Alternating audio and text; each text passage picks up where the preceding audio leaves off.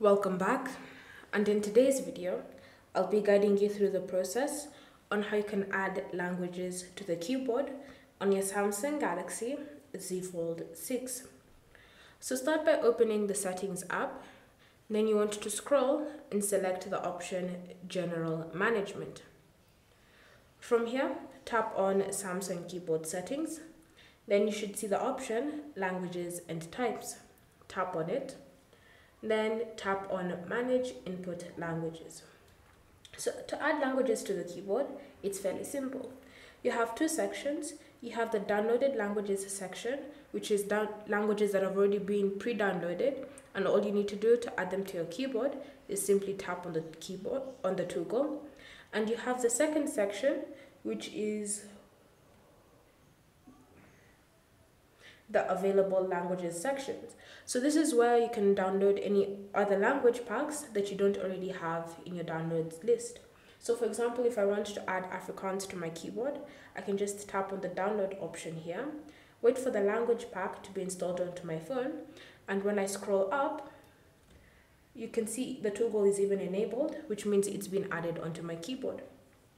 So you can add up to four languages on the Samsung keyboard because that's the maximum it supports.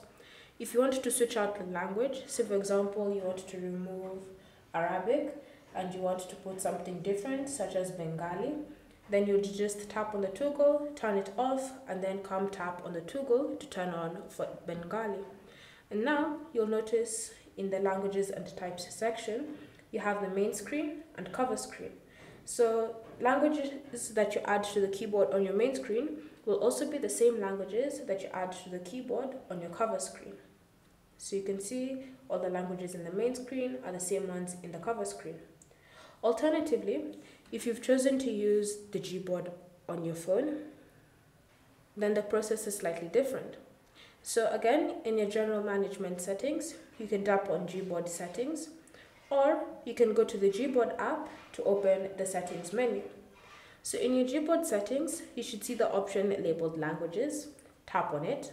Then from here, to add a language or to add a keyboard, tap on add keyboard and then you can choose to scroll through this uh, list of languages or you can just tap on the search option and type in the language that you want to add.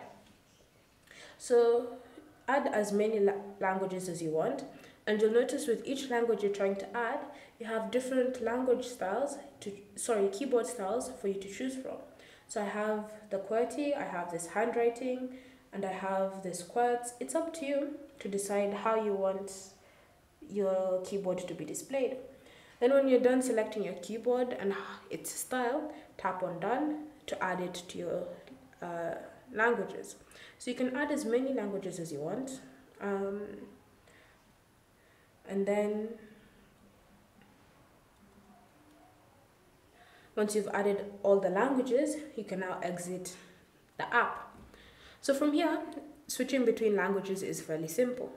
If you're using the Gboard, then you'll notice you have this globe icon at the bottom of your keyboard. So you want to long press on that globe icon and it will give you the language list that allows you to switch between the different keyboard languages. So currently I'm set to English, but if I want to switch to Italian, I can tap on Italian and I'll switch almost immediately. So now I'll be starting to use Italian.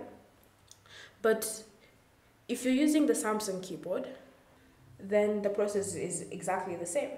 You see this globe icon, simply long press on it to bring up this language list. And then from here, you can just scroll down to select the language you want to use. So say for example, I wanted to use Bengali. I would just highlight it and select it like that.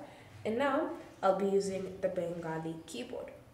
If you want to switch back to a different language, say you want to go back to English, long press on the icon, select English, and then you can tell you've switched back to your previous language.